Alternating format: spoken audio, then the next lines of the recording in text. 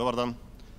Поштовани домачини из партија Демократског прогреса, поштовани председниче Бореновиќ, поштовано председништво, е, тражили су ми да напишем one two minutes говор е, пре ова и јас сам то написал, ал написал на чирилицу, па ондак тоа е неки мој македонско-српски, ал наставиќу македонски. Са...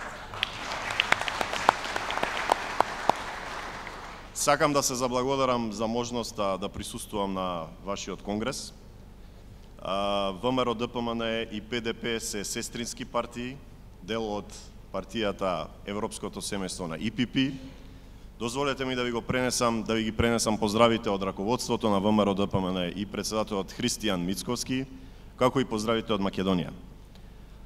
Имаме ние заеднички пат, патот кон Европската Унија, И на тој пат ВМРО ДПМН е спремно да соработува со сите европски партии и сите сестрински партии кои што се дел од ИПП. За нас членството во ИПП и активностите во рамките на ИПП представуваат врвен приоритет. Пожелувам успешна работа, плодородни заклучоци и многу успех за сите нас, за сите земји од регионот на патот кон Европската Унија. Ви благодарам и успех!